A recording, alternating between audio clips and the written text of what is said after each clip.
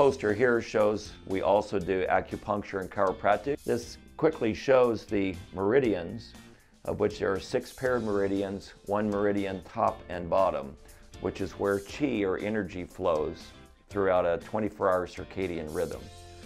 We have disease when there is obstructed chi, and we can cure the flow of chi with uh, acupuncture needles.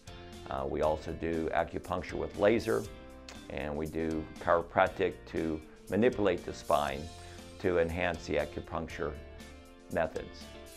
Here shows spine of a dog that if the vertebrae are locked, there can be obstruction of the nerve. If a nerve is obstructed, then it becomes dysfunctional. A dog or cat may become paralyzed, may be in refractory pain, and there are no medications that can treat this other than pure manipulation or what we call an adjustment of a motor unit. Let me show you this more quickly. This is an, actually a human L4, L5 spine. And this is the same physiology for a quadruped as opposed to a biped. If you can see here where the nerve is coming out of the motor unit between the two adjacent vertebrae, and if there is an obstruction or this vertebrae is locked, it puts pressure on the nerve root. That will create a dysfunction. It also may be creating a very uh, painful condition.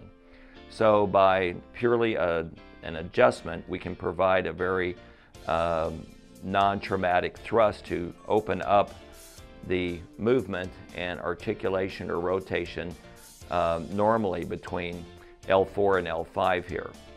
Here it shows the intervertebral disc. You can see with particular injuries there can be a rupture of the intervertebral disc putting pressure up here on this ventral nerve root. This can become very painful, potentially to a surgical case. We like to treat this in a medical fashion, but this shows us exactly what can be involved with the severity of disc injuries.